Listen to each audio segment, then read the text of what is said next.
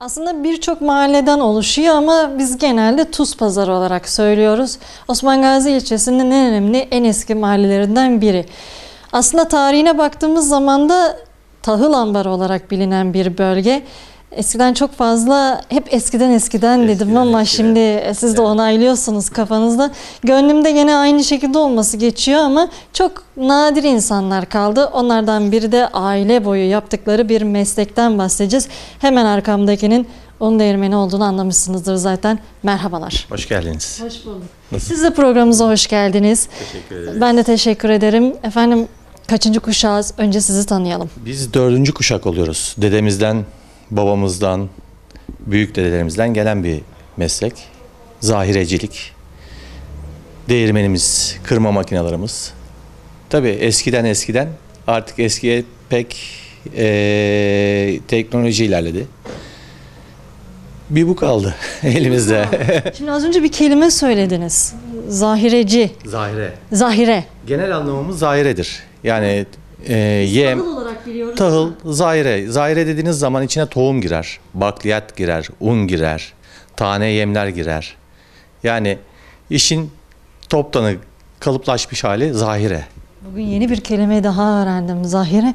Bugün öğrenme günlerimden. Kadın gözüyle programını yaparken çok şey öğrendiğimi düşünüyordum. Ama maalesef e, bir kez daha anladım ki öğreneceğim daha çok şey var. İsim nedir? Önce onu öğreneyim. Cem Durmaz, Cem Bey şimdi dördüncü kuşağız dedik. Yaş kaç? 46. 46. sizden sonra devam ettirecekler var mı? Var.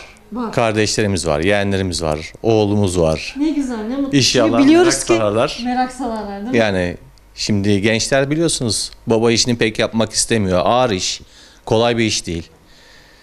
Çok kazanmak istiyorlar.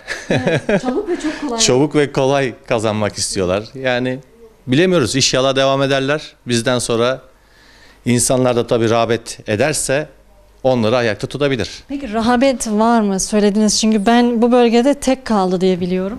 Bursa içinde tekiz. Yani bildiğim kadarıyla yapan bir iki kişi daha var. Bu ilçelerde var. Ama Bursa içinde merkezde tekiz. Peki bu bölgede eski miyiz? Daha Çok sonra eskiyiz. çok eskiyiz. Kaç Çok eskiyiz. Biz hemen hemen burada 50 senedir, 60 senedir buradayız. Yani sektör değişe değişe değişe ama bu değişmedi. Ba- toptan bakkaliyecilik yapıyorduk.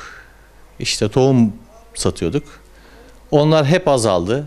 Şimdi millet, insanlar ayağa hizmet ediyor. Eskisi gibi ekim kalmadı. Evet.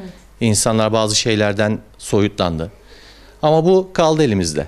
Şimdi benim yayınlarımda da ben bildim bileli burada var. Hatta burayı bulurken ararken de hayır diyorum bu tarafta muhakkak bir un değirmeni olduğunu ben hatırlıyorum. Yani duymuştum yayınlarımızda vardı demiştim. Öylelikle hatta aradım. Daha önceden de yayın yapmıştık. Daha önce de bir yayın yaptık. Hatta ben burayı bulurken biraz dolandım. Hani hangi sokakta hangi köşeydi derken dediler bir çıkmaz sokak bulursan oraya dal. Biraz iç tarafta kalıyoruz. Aslında çok basit ama bir de şöyle bir şey var.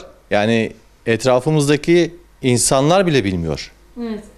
Yani soruyorlar değirmen varmış. Burada öyle bir şey yok. Var aslında. Arayan buluyor. Dışarılardan yani Bursa dışından gelen müşterilerimiz bile var.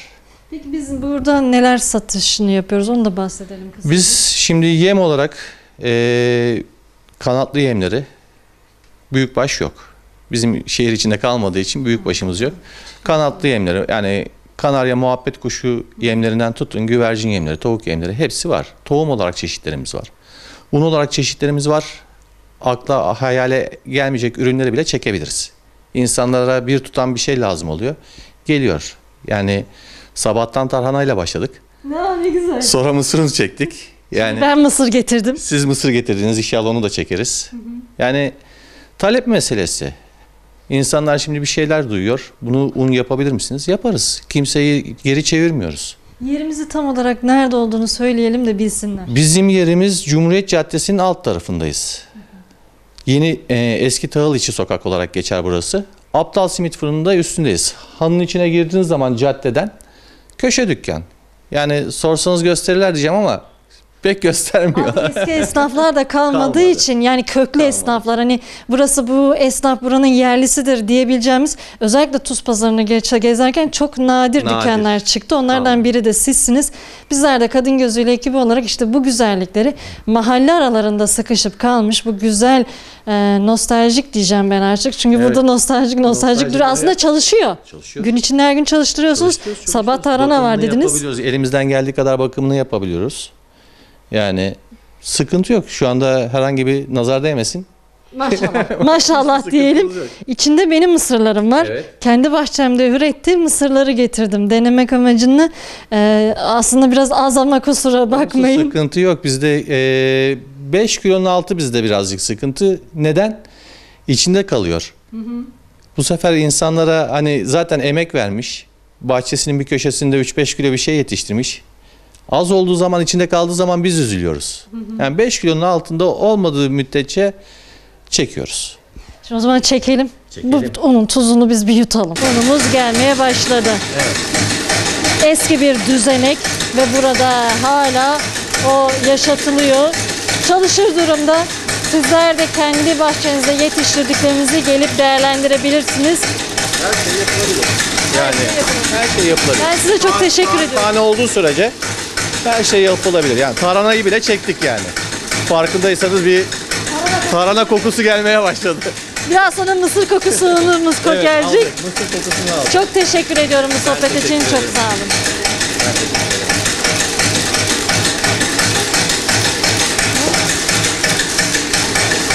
Kadın gözüyle böyle efendim. Bugün pek çok şey öğrendim.